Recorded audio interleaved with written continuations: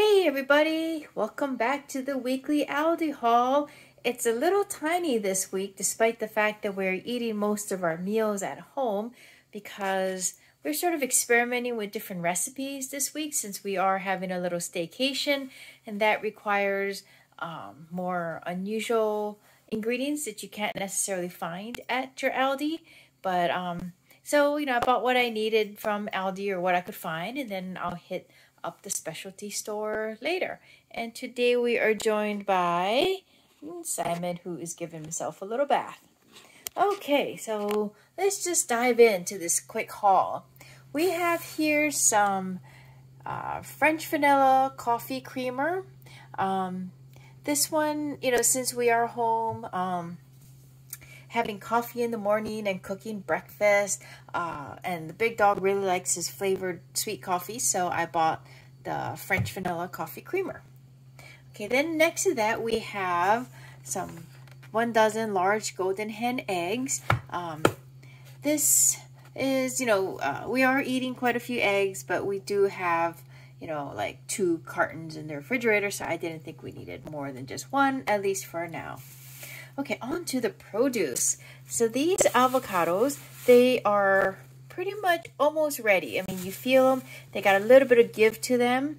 Um, they were on sale. Normally, they used to be like 75 cents, and I noticed that they went up to a little bit more uh, for each one. But today, the sign said they were on sale for 69 cents each. So we've been doing um, these avocado rice bowls. Um, those are great for a quick lunch because we usually have some leftover rice from dinner. So you heat up the rice in the microwave for a little bit, and then you um, take half an avocado and then you also fry up an egg or an over easy egg and you put it in the little hole where the pit of the avocado is.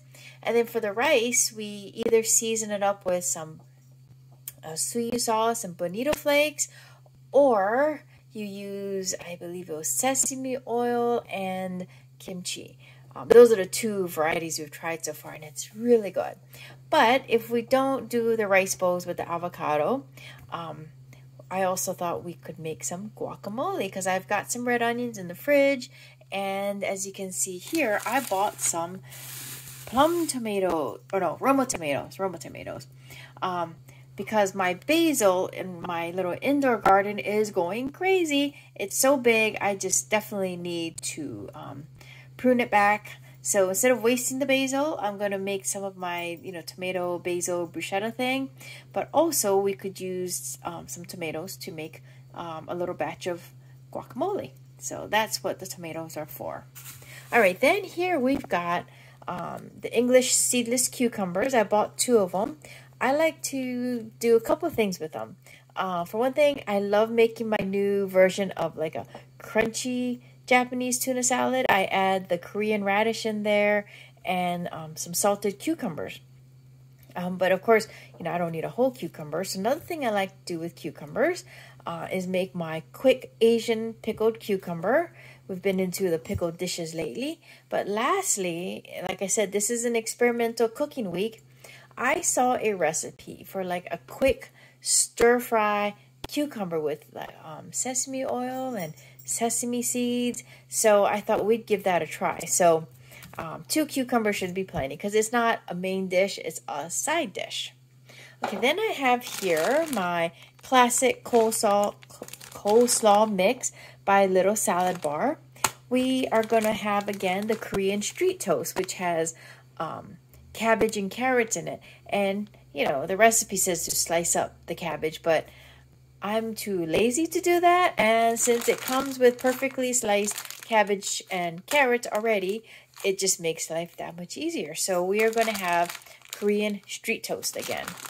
Okay, then I have here two containers of strawberries by Wish Farms. They were on sale for 99 cents each, which is a really good price. Um, I didn't buy any grapes this week, so this is our sole fruit, aside from the uh, mango I buy from the Asian store.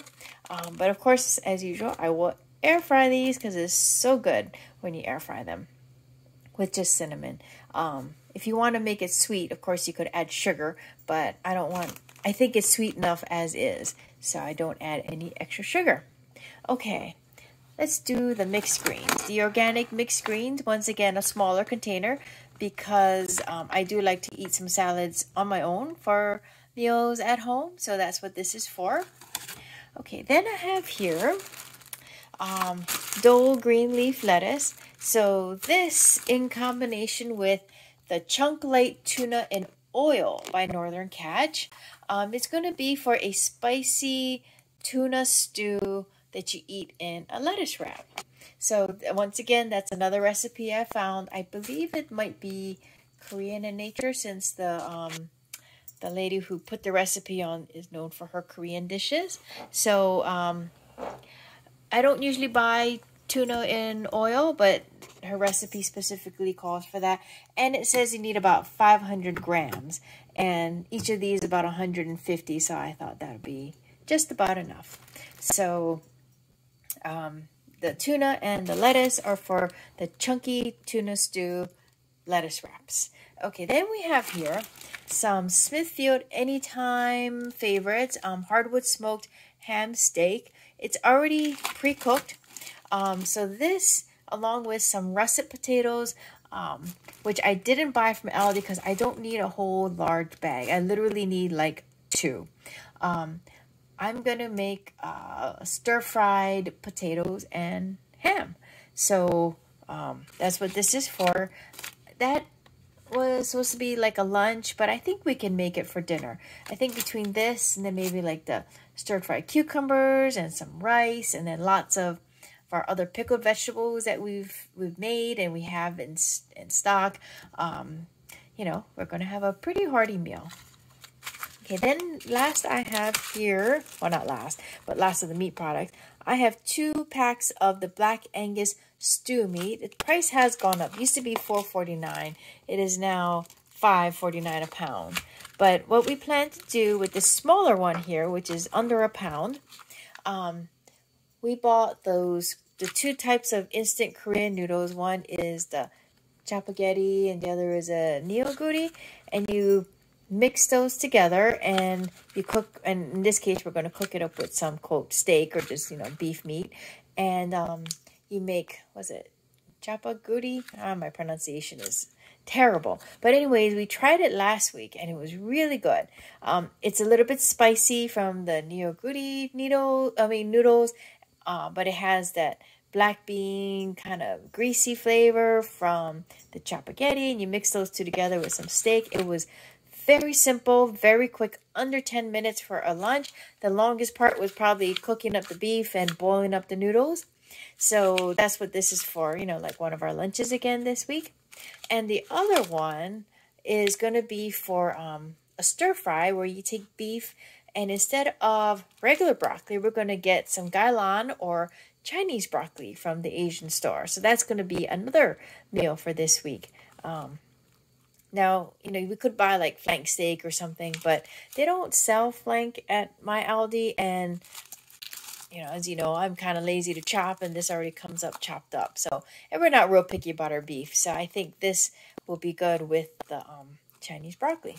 So that is our um, small Aldi haul for the week. Oh, gosh, I almost forgot. I'm staring right at it. The Sundae Shoppe Vanilla Sundae Cones. Um, you know, the big dog really loves these, and I didn't see the frozen fruit bars that he likes. They had a lot of popsicle things and you know, a lot of fruity frozen um, desserts, but not the frozen fruit bars that he likes, whether it's the pineapple or strawberry. So he asked for the sundae cones again because, like I said, they're really good. And I just, you know, I think that having the little um, chocolate at the bottom of the cone just makes it extra special. So that's his treat for the week. Um, but now my haul is officially over because it is pretty tiny. Because like I said, we are going to go to the Asian market to pick up stuff like more kimchi, uh, Korean radish, the Chinese broccoli, um, and some other things I can't remember what's on my list. Oh, the russet potatoes, of course. So we can have, you know, different types of meals this week. So anyways, I hope you enjoyed this small haul, and I'll probably be back next week with a bigger haul when we eat more traditional foods, dump and dump and go instant pot meals because we'll be back to work. But anyways, um, I just want to thank all of you for popping in to watch this video. And if you're new, you know, please hit that subscribe button. I appreciate all my followers very much. And to all of you who are subscribing, yay! Thank you very much.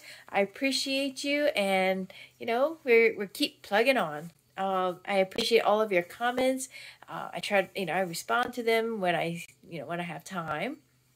And, you know, just, we'll keep on plugging on. So once again, thanks for watching. And if you like this video, please give me a thumbs up. And I look forward to any comments you might have, any questions. And I will see you all next week. Take care and stay safe. Bye.